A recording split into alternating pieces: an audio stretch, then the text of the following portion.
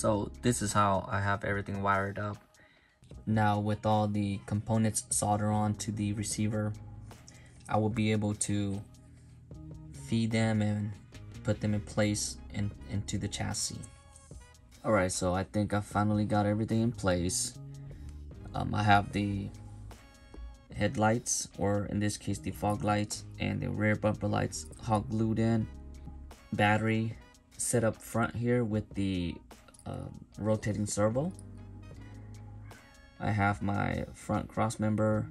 Now the the motor is a lot bigger than the other one that I've been using, so this one actually sticks out the back a lot, as you can see. And now the on and off switch is on this side.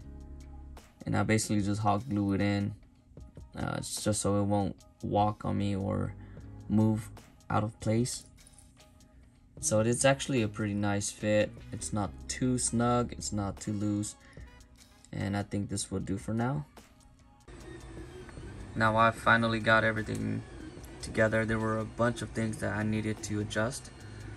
And I had to modify a lot of other things as far as the cross members. I had to modify the drive shaft and also the music wire and the frame or the chassis was actually sand down a lot on both sides just so I can get this to work.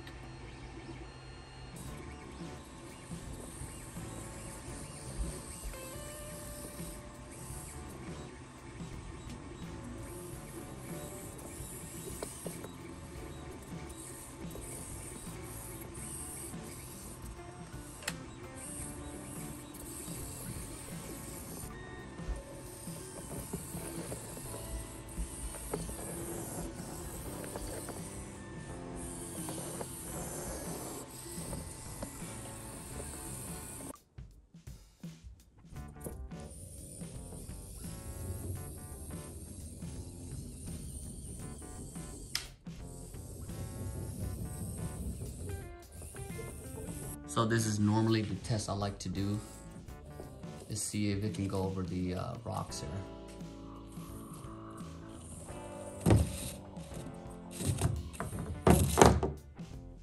Nope.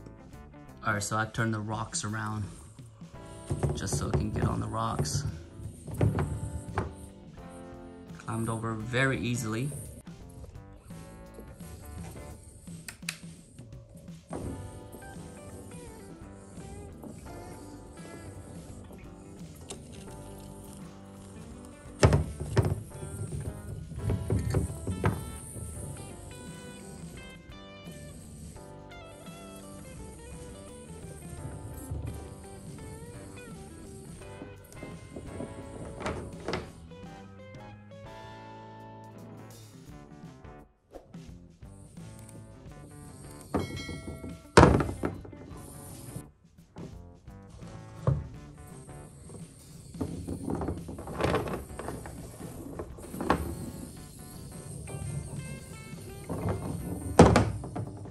So as you can tell, this thing is very top heavy and it seems to like to topple over very easily.